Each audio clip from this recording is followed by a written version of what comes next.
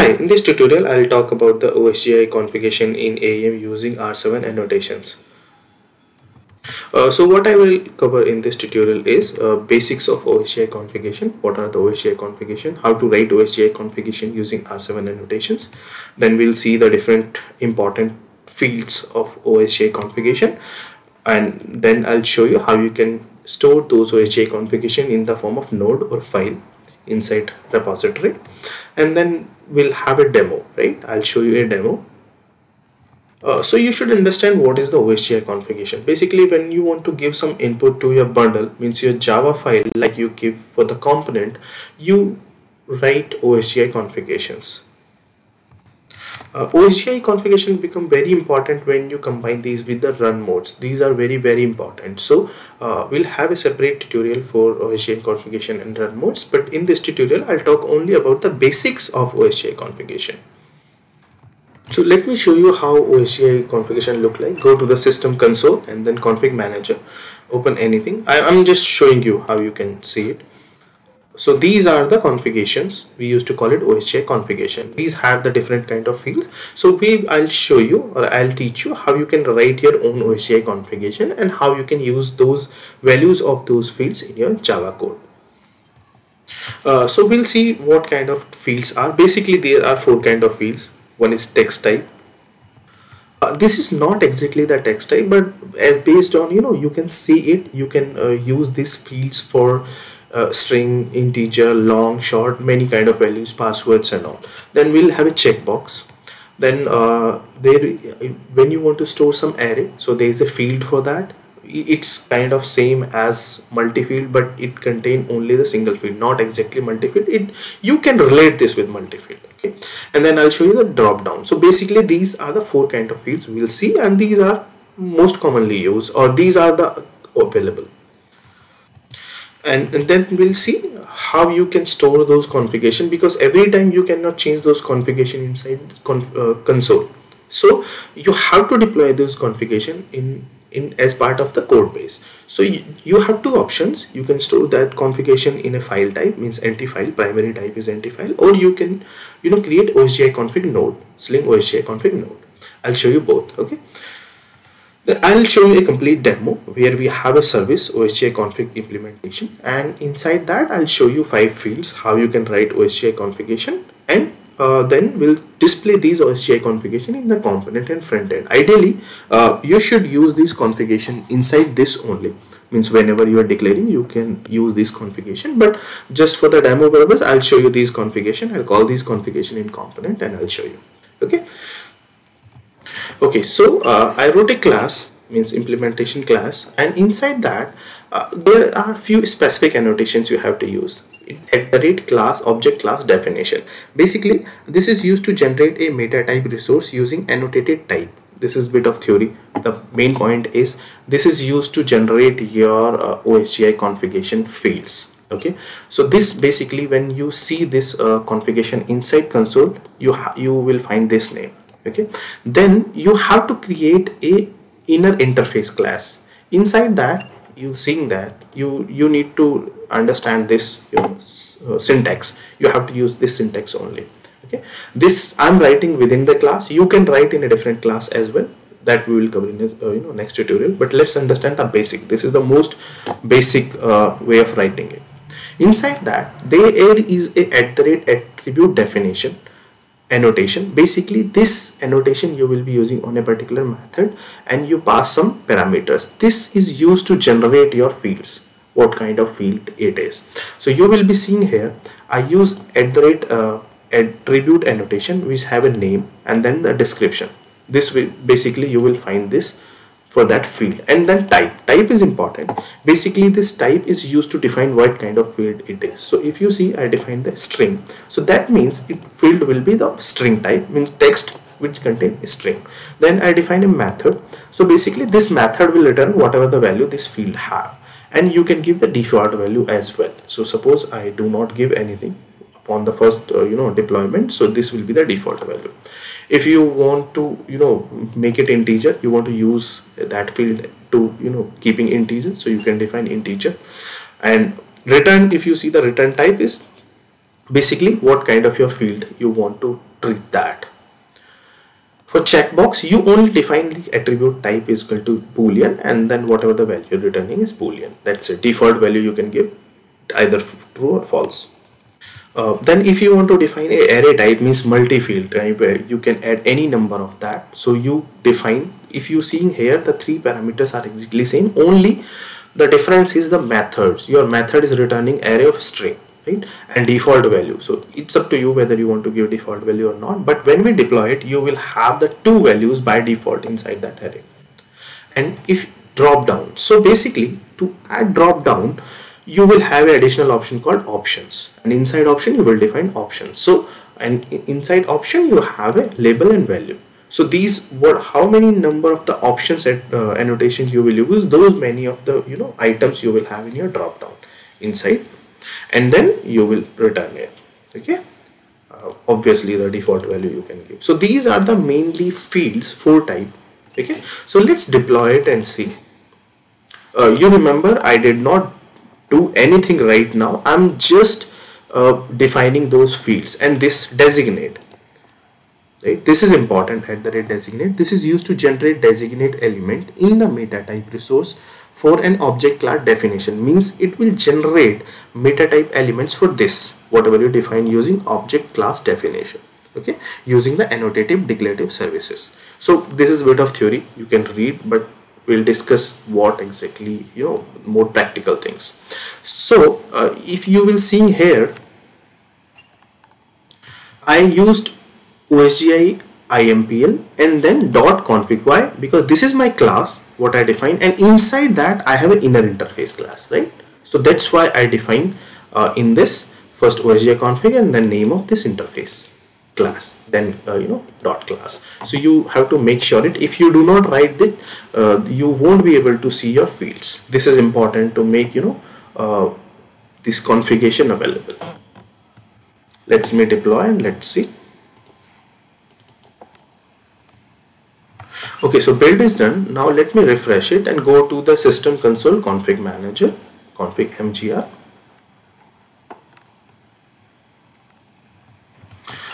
and search for this name what I define here AEM Geeks. So I came here and start searching. So as soon as I search you will find this. Geek AEM Geeks hyphen OSGI configuration what I gave here in name. Right? this is name and this is description. So if you open it just click on it you will find these fields. As I told you there are mainly four kind of field. This is a text. What I gave as the default value. That is already available. This is the name what I gave name so you can identify by name. If you will be seeing here this was my name and this was a description. Enter service name. So description you can see here. And this inside the bracket you will be see what was the method name. This is also important. We will be using this sometimes. So I'll show you when we will be using this. So this inside bracket we have the method name without brackets. So this was my method name service name brackets. So it is there. And you will find same way with every field this is checkbox as we define the checkbox and this is array. What I define array means the countries. You will be seeing here this one okay? I define as an array of a string so you will see these. You can add here plus minus. By plus you can add fields and by minus you can remove it okay? And this is drop down as I told you. So I added three three items so three are available and both is already selected because I gave default. Both as a default. Okay? So now let's see how you can use it. You define it but you are not using it. Ideally you should use these fields uh, inside this class only wherever you define it but you can use anywhere. Okay? So let me show you how you can use these fields. Means the values of these fields uh, so if you see I wrote a activate method uh, using at the rate activate annotation so you know how what is the purpose of when you want something to be load or executed at the time of this service initiation or to deploy this bundle you will write in activate. So what I'm doing inside activate I'm passing this interface class object and then I'm getting all the I'm calling this all the uh, methods. So I define variables and inside this variable I'm setting the value whatever I got using this method so you remember this method is defined here okay? And the same way I can use these variable inside only but because I just for this demo I'm will display these values inside a component so that's why I wrote some getter method. So these each getter method is returning the value what I got from the configuration okay? So this is the way and simple as I explained earlier I have a component inside that component I'm calling this service and from this service let me show you. This is my uh, so this is my model sling model. Inside that I'm calling this service I config and just getter methods returning to front end side. Front end means the site Sightly and inside Sightly let me zoom it. I'm just displaying those values service name service uh, count live data run modes and then items means whatever the countries I got okay? So this is only used for display uh, for render just to show you for the demo purpose. Okay let me deploy this. Uh, so these are my values service name count and all. So let's change some values and see the difference. Okay go here. I change this AEM geeks and value to 55 make it true and add one more like uh, FR and I change this value to author. I saved it. And just refresh it.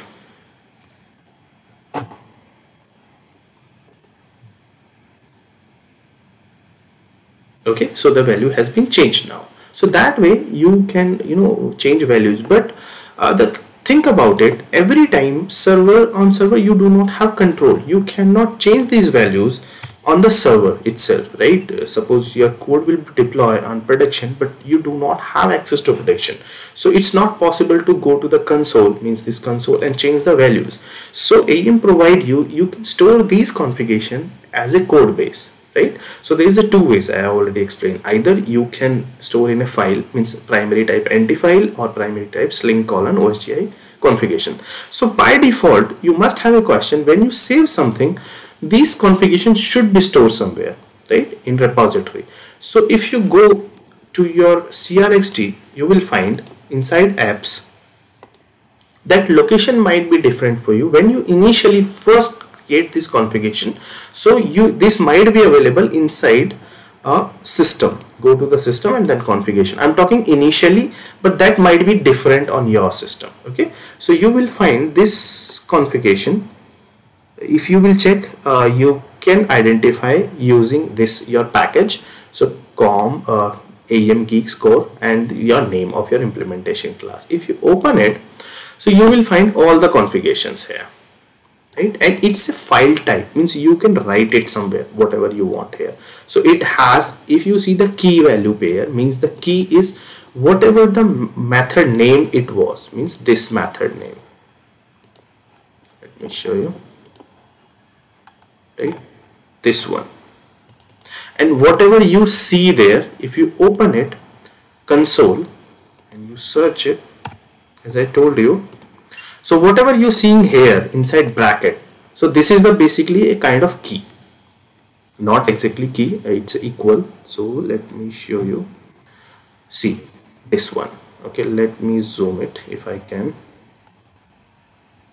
So this and the same way so this is the one way of doing it, right? It's an empty type of file, but you should not keep here itself, right? It's a generic location. So when you create project using Maven, you will find some folders like config, config.author, config.prod, config.stage, you, and you can create your own as well. These we call run modes. So we will have a detailed uh, separate tutorial for the run mode and the OSGI configuration. So for now, what you can understood is just copy this and move from file from here to this author either author or in config okay? So for for now let only for the understanding purpose okay? So now okay it should not be a place on both okay it removed now. So if you see whatever value I uh, you know here those values are in this file. So if I change some value from this file let me give 6 and let me add one more comma in i'm talking about like hi okay if i save it if i refresh this whatever you save inside that file those values should be available here now. See uh, it is changed number change uh, this one more has been added now. So that's where basically you should deploy this configuration as a you know uh, as a file. This is the one way of doing it. I should add uh, this is you know kind of nt:file but I can use it uh, you know I can create in OSGI configuration as well. And this is uh, the most commonly used right? If you see others it's OSGI configuration. So let me remove it here. Delete and let me create a node. Okay. Called uh, sling. It should be a sling. OSGI configuration. This guy. And what should be the name? Go here in your configuration. And whatever you find here just create a node with this name. Okay? Right so you created a node right? It is type of OSGI configuration. Now you should add a value key value means properties right? And what should be the uh, you know properties? What is the key? Go here again and whatever you define here means whatever you find here either you can get it from here or whatever the name of your method without brackets. So and make sure whatever the type you're defining you should have the same type okay? So let me key in key yeah added same way let me add other values as well. Uh, so if you want to add a string type values means array type values so what you have to do? Like I have countries. So if you see countries I have array. So what you have to do uh, you click on multi and then add. As soon as you click add it will give you option to add multi fields right? One the second is in and uh, again. So whatever the value you can add. So remember if you want to add a array type value so you have to click on multi and then you have to add okay? So I have added all these values now. So all values are available. So when I saved it I did not you know do anything over console. So if you refresh it the page you will see updated values. You will see all the values has been updated whatever I gave here. If you check so that way uh, you should put this configuration as part of code base either in the OSGI config node or an nt:file node. Uh, you can also see the updated configuration inside uh, the console as well. Open again reopen it. If you open so you will see the updated values here as well uh, this was the basic of OSGI configuration how you should write it uh, I hope you understood. If you have any question, please do comment. Thank you very much.